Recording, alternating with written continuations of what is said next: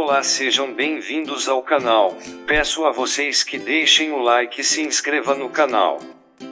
Na manhã desta terça-feira, 29, Jada Pickett Smith falou pela primeira vez sobre o tapa que seu marido, o ator Will Smith, deu no comediante Chris Rock para protegê-la da piada com a sua doença autoimune. Esse é um tempo de cura e estou aqui para isso. Ela postou uma foto sobre no Instagram. O comentário foi direto e sugestivo. Ao contrário do post de Will Smith na noite desta segunda-feira, 27, pedindo desculpas publicamente a Chris Rock, classificando o incidente como imperdoável e sem espaço para violência. Na ocasião, ele pediu desculpas à academia quando ganhou o prêmio de melhor ator por King Richard.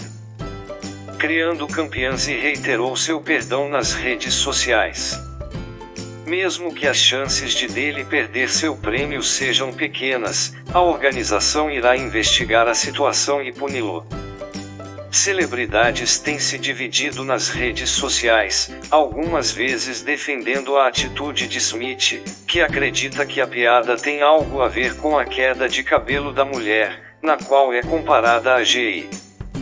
Jane, personagem fictícia careca, ora a favor pela liberdade do comediante, que não deveria ser violento por essa piada. Nisso, o próprio Richard Williams, pai das tenistas Venus e Serena Williams, criticou a atitude da celebridade. Obrigada por assistir e até o próximo vídeo.